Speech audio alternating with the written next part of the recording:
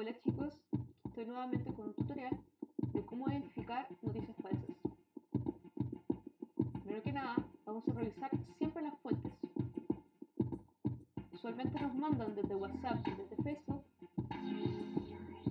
fragmentos de textos que no son verificables desde una fuente verídica como un sitio de noticias, una página de investigación científica o algo que sea absolutamente racional y empírico.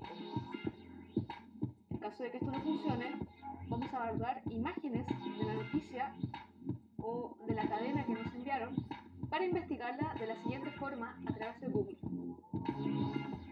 En el computador entramos a la página de Google en la sección de imágenes. Este tipo de búsqueda también sirve para identificar catfish o perfiles falsos.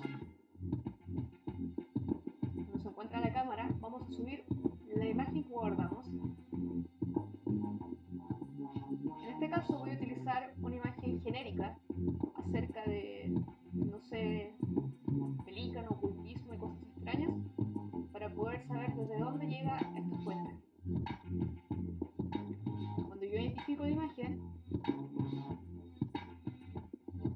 Deberían salir todas las fuentes similares a ella y en la parte superior todos los tamaños de imágenes donde te voy a poder ver dónde se subió esa imagen, en este caso Pinterest y otros sitios de donde puedo ver el origen. Como les decía, también sirve para identificar perfiles falsos y el robo de identidad.